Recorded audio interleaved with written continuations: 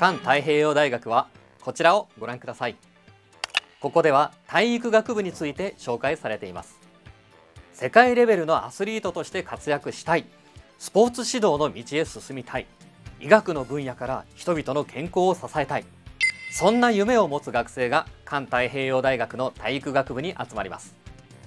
体育学科はプロスポーツの指導者や体育教師を目指す学科。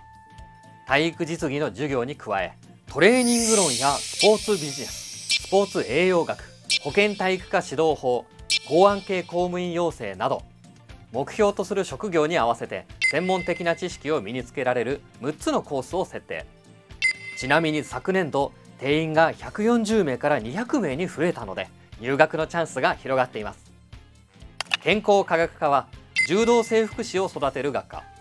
スポーツ選手はもちろん子どもから高齢者まで多くの人を医学的な側面からサポートする専門家ですね。全国大会レベルの体育会に所属しながら学んだことをトレーナー活動として実践に生かせるのも魅力です。環太平洋大学では日本代表として世界を舞台に戦っている選手たちがたくさん学んでいます。そんな学生たちのためのスポーツ施設トップガンにはプロのアスレティックトレーナーが常駐。世界基準のトレーニングマシンも用意されています。